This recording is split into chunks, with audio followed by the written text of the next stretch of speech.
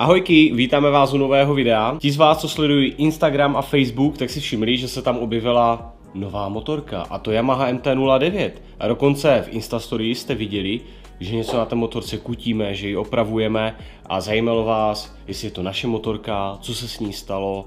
A v dnešním videu se všechno dozvíte, tak pojďme na to.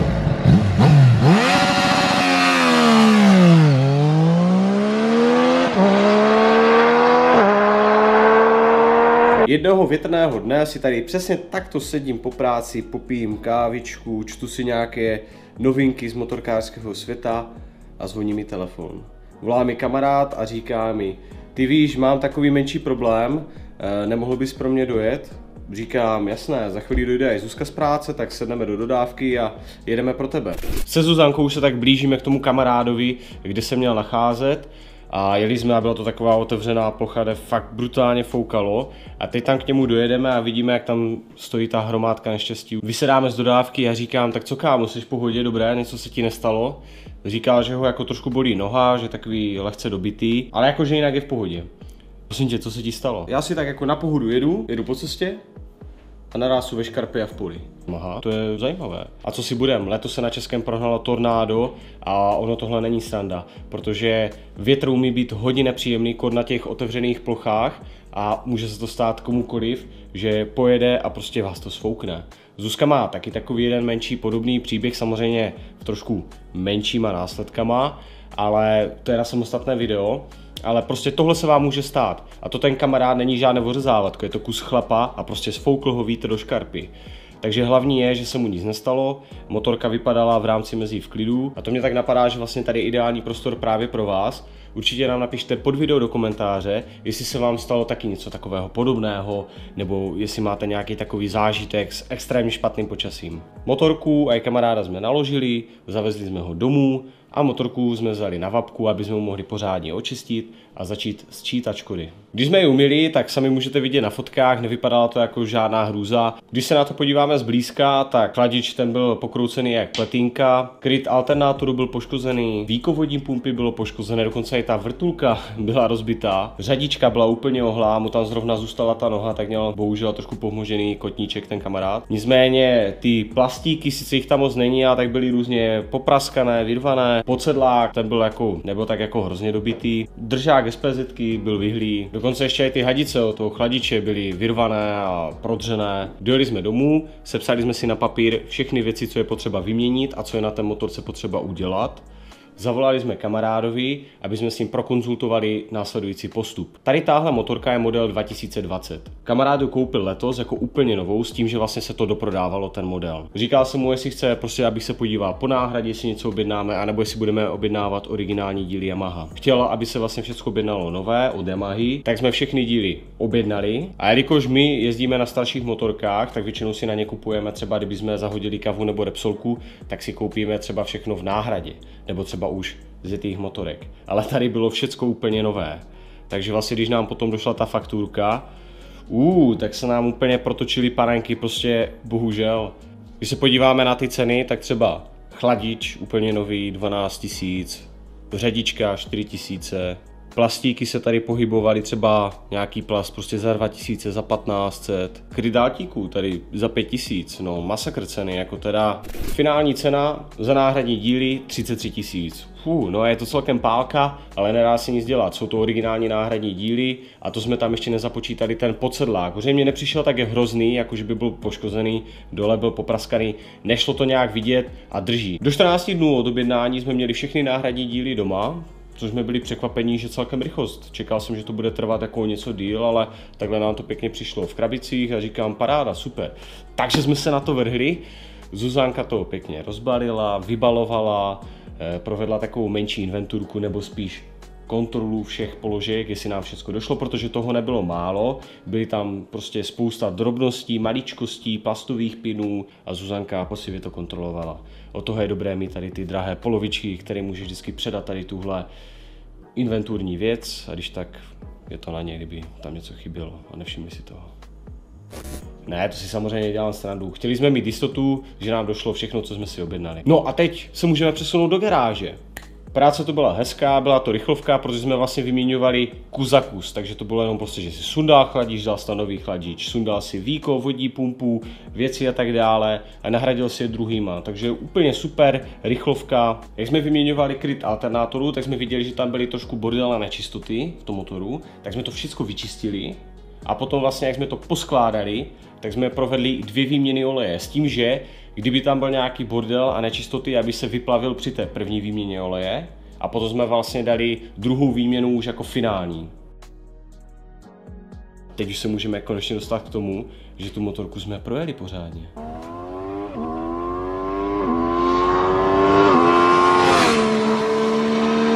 Samozřejmě, první jsem tu motorku projel úplně v klidu, jestli všechno funguje, těsní, jestli motorka nikde netáhne, jestli není nějak geometrie řízení nebo něco nějak ovlivněné po tom pádu. Všechno bylo na prostém pořádku, tak jsme si řekli, že máme na to jeden den a můžeme ji v klídečku projet.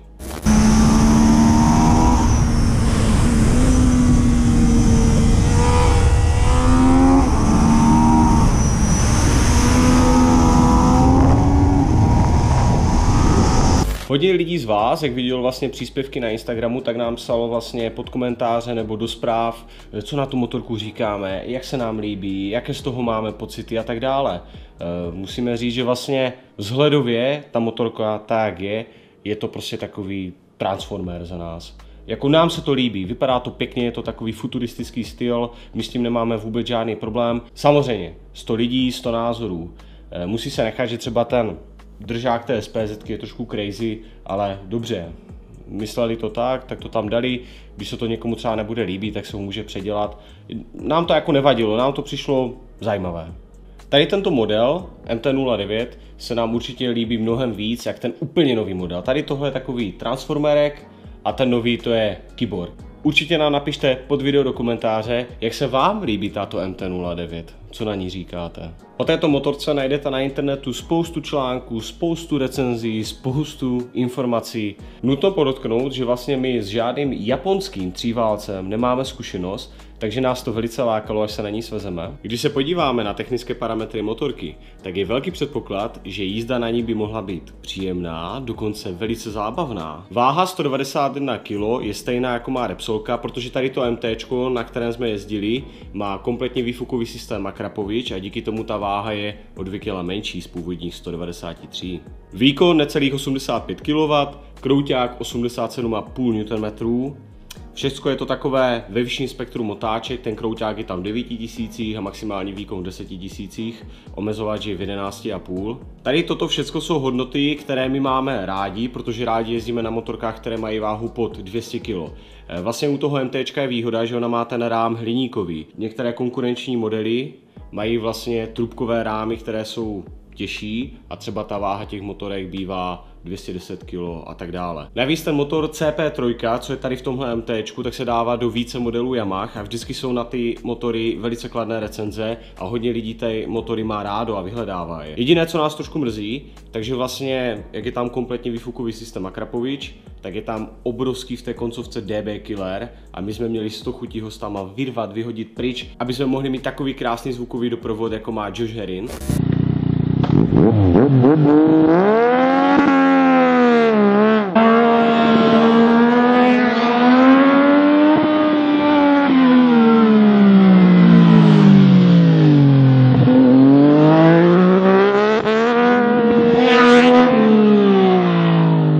Mazes, co? Úplně jak motor dvojky. Když jsem si tu tak procházel, tak jsem si všiml, že tento model už má stavitelné přední vidlice, ten úplně první model je neměl. Když jsem se na ní posadil, tak jsem byl úplně nadšený, protože jsem si řekl, teďka je doma. To je úplně motárdový poses a je to strašně pohodlné a komfortní a já jsem na něj ty zvyklý, protože letos jezdíme hodně na motárdech.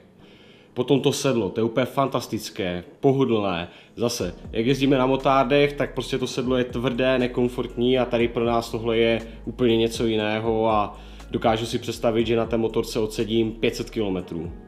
Možná i víc. Otáčím klíčkem, rozsvítí se displej, vidím, že motorka má tři palivové mapy a kontrolu trakce rozdělenou na dva módy. Ale abych byl upřímný, já jezdím na ostrém motárdu, mám v garáži starou ZX10, kde jakákoliv elektronika je prostý výraz, takže já tady tyto věci nemám upřímně rád. Jako prostě já mám rád přímo surovost té motorky, že prostě ta motorka ti dá prostě ten 100% výkon a tady tyhle věci nás úplně nebavijou. Jo, jedna věc je, kdyby jsme třeba chtěli jezdit závody na okruzích a jeli tam úplně na nějakém našlapaném supersportu, tak tam to dává význam, jako ta kontrola trakce, jak v MotoGP, superbajcích a tak dále. Ale na to, že se my jdeme své tady po cestě a za blbnouci, tak chceme prostě 100% motorky a 100% zábavu. Takže toto je náš názor tady na tyhle věci. Je samozřejmě 100 lidí, 100 chutí, takže někdo to třeba ocení na té motorce, ale my když jsme na to sedli, říkám, ukáž, že se to vypíná, TCSov, výborně. Co se týká té palivové mapy, tak je tam Ačko, standard a Bčko, tak jsem říkal, tak schválně vyzkoušíme ten standard, vyzkoušíme si s tím třeba akceleraci a potom si to vyzkoušíme s tím Ačkem, jestli je tam vůbec nějaký rozdíl, ale k tomu se dostaneme. Ale věc, která se nám úplně nelíbila, že na té motorce nešlo vypnout ABS, Nevím, jestli to na té motorce jde vypnout to ABS, ale nebylo tam nikde tlačítko nebo nějaká možnost, aby jsme to ABS vypli. Takže kdybych chtěl na té motorce jet po přední, tak bych musel se rozjet, vypnout zapalování, zvednout to na přední a potom zase zapnout zapalování, což samozřejmě jako na půjčené motorce nebudeme dělat. Ale kdyby ta motorka byla naše, tak bychom museli určitě tohle vyřešit, aby to ABS šlo vypnout. A teď se můžeme přesunout už k jízdě. Jak jsem se na ní jenom rozjel třeba z křižovatky, tak už na jedničku šla na zadní, potom jsem dal dvojku, zase záda, říkám, počkej, ty jsi pěkně na ty záda nabroušená, tak pojďme si to vyzkoušet, jak se ti chce na zadní. Takže rozjedeš se, na jedničku jenom přidáš, letíš po zádech. Dvojku dáš plný, letíš po zádech.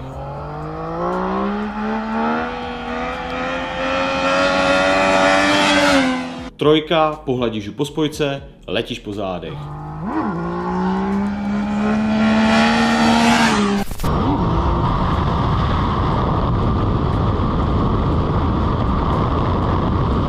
Potom záleží na tom, jak moc máš velké koule, jak moc si troufneš, když máš nějaký horizont nebo nerovnost, tak čtverka, pětka, záleží to jenom na tobě. Takže to máme záda a teď jsem si řekl, pojďme vyzkoušet teda akceleraci z 0 na 200. To nás vždycky zajímá, co ta motorka umí z 0 na 200. Dáváme tam režim standard a jdeme to vyzkoušet.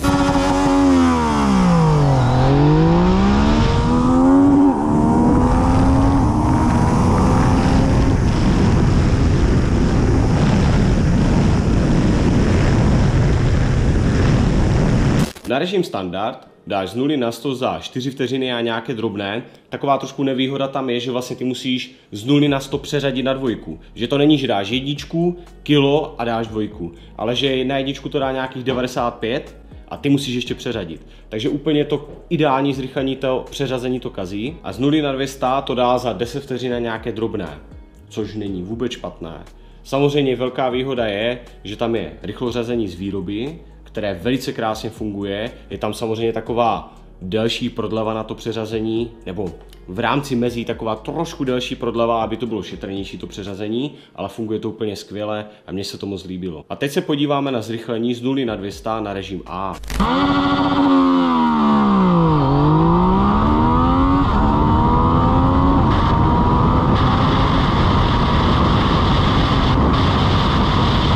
Tady jde vidět, že už se dostaneme z 0 na 100 pod hodnotu 4 vteřiny a z 0 na 200 se dostaneme pod 10 vteřin, což je úplně super. Už při tom zrychlení z 0 na 200 jste si určitě všimli, že vlastně tam nasázím 5 kvaltů, jo? že 200 dávám 5, teď jedu 220, řadím 6, 224 a končí. Co to je? Yamaha si tímto určitě udělala pojistku, na to, aby zabránila přetáčení motoru. Protože pojedeš třeba podání, si budeš to tam držet furt v krvi a kdyby jel třeba 250 a měl bys to vytočené v těch 11, v 11,5 tisících otáčkách, tak jasné, že prostě takhle bys nemohl jezdit dlouho, že? Takže bys odpálil ten motor. Takže toto je taková velice chytrá pojistka Yamahy, ale myslím si, že určitě se to dá odblokovat. Ale zase na druhou stranu u tady této motorky ta maximálka vůbec nehraje žádnou roli. Tohle jako není věc, která prostě jako před deseti lety bych to třeba řešil. Před deseti lety jsem určitě řešil maximálku motorek, ale dneska je to třeba jako úplně jedno a určitě od této motorky nečekám a ani nepotřebuju s ní jezdit 250, 260, jde mi to úplně jedno, protože ten motor, to napřevodování a ten charakter ti to vlastně vynahradí na těch okreskách, kde si užiješ prostě spoustu zábavy, furt jedeš, furt řadíš a je to strašná zábava. Takže tady to, že to jede 224 a že to má omezovač otáček na 9000, já nevidím vůbec jako špatnou věc, vidím to jako prostě pojistku od Yamahy a jo, proč ne?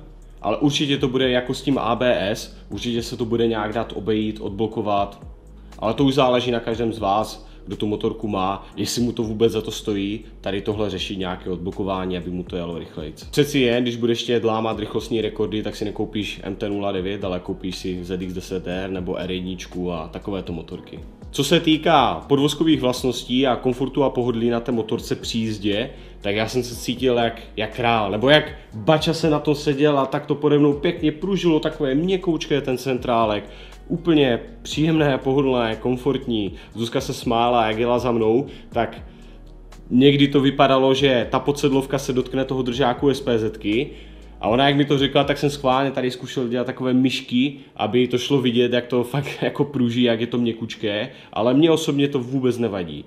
Na tu jízdu po našich silnicích a okreskách to je úplně jako v pohodě, je to úplně dostačující. A na té motorce se dá krásně letět. Je to fakt úplně super, je to pohodlné.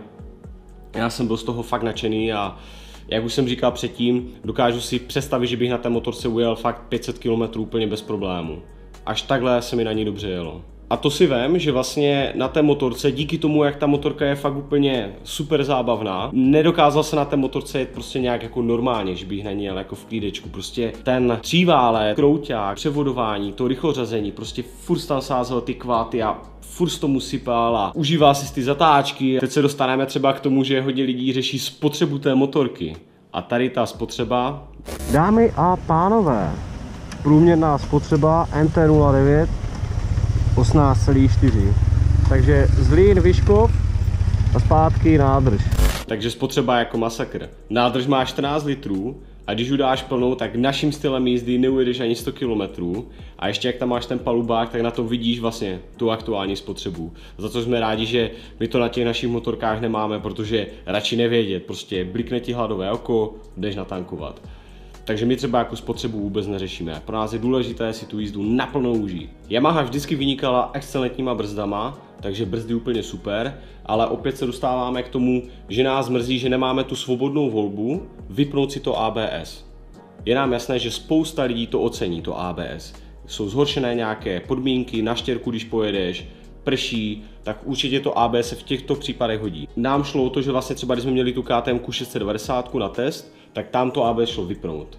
Prostě chceš ho vypnout, chceš ho zapnout, máš na výběr.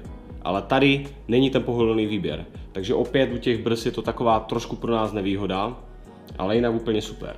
Celkově na nás to MT zanechalo velice dobrý dojem, je to neskutečně pohodlná motorka, ten motor CP3, to je naprostá brutalita, to je něco neskutečného. Prostě ten motor furt chceš držet pod krkem, furt tam chceš valit další kvality, ten doprovod prostě toho Akrapoviče, ten zvuk, ty vole, to je fakt jako bomba, jako moc se mi to líbilo. Podvozkové vlastnosti, můžeš říct, že ta motorka je třeba měkčí, že si můžeš koupit SP, které je na Elincech a tak dále, ale zase na druhou stranu, eh, pokud budu chtít tvrdší motorku, tak si za mě bych si nekoupil SP, ale koupil bych si třeba okruhovku, tak jak máme tu ZX10, kterou bych vzal na okruh a tady tohle bych si nechal na normální jízdu do provozu. No, tak.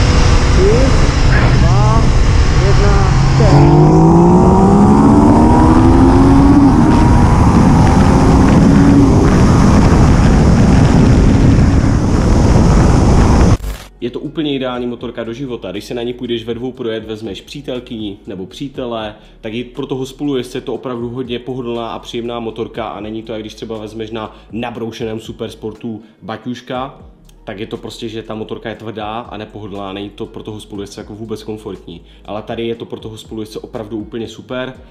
Kousek vlastně jsme se projeli se Zuzkou, že řídila ona a já jsem si to vyzkoušel, jak je to být spolujezdec, takže můžu říct, že je to fakt super. Určitě to nemá smysl dál okecávat, protože tu motorku si musíš vyzkoušet na vlastní kůži, protože to chceš, ty to ještě nevíš, ale ty si ji chceš vyzkoušet. Je to fakt skvělá motorka. Všem majitelům Yamaha MT-09 gratuluju, vybrali jste si skvělou motorku. V neposlední řadě nás nezapomeň sledovat na Facebooku a Instagramu, kde dáváme aktuální dění z našeho života. Koukni na stránky Motozem, kde najdeš tento krásný merch do vyhledávače DayZX a vše vám bude k dispozici a budeme se těšit do dalšího videa. Čaute!